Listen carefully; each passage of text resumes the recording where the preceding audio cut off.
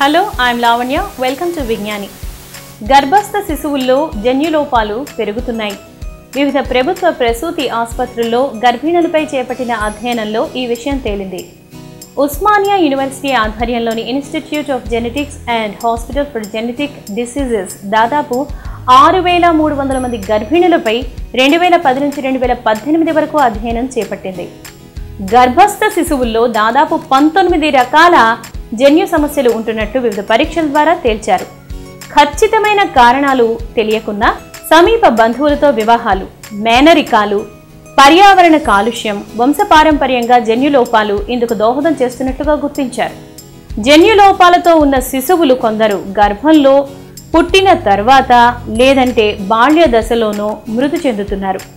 కొందరిలో మొర్రి కాళ్ళు వంకర్లు తిరగటం మెదడు గుండె ఊపిరితిత్తుల్లో లోపాలు ఉంటుండగా మరికొందరిలో వయసుతో పాటు మెదడు సరిగా ఎదగకపోవటం బుద్ధి మాంద్యం తదితర సమస్యలు తలెత్తుతున్నాయి ఇంకొందరిలో రక్త కణాల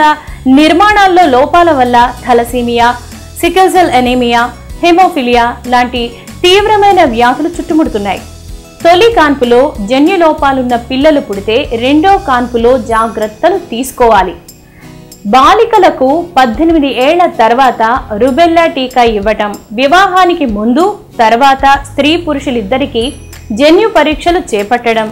గర్భం దాల్చడానికి మూడు నెలల ముందు నుంచే ఫోలిక్ యాసిడ్ అధికంగా ఉండే ఆకుకూరలు తదితర పౌష్టికాహారాన్ని అందించడంతో పాటుగా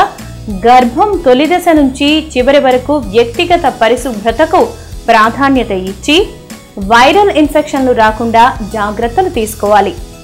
గర్భం దాల్చిన తర్వాత మధుమేహం థైరాయిడ్ రక్తపోటు సిఫిలిస్ పరీక్షల్ని క్రమం తప్పకుండా చేయించుకోవాలి మీకు ఈ వీడియో నచ్చితే లైక్ చేయండి షేర్ చేయండి సబ్స్క్రైబ్ చేయండి and thank you for watching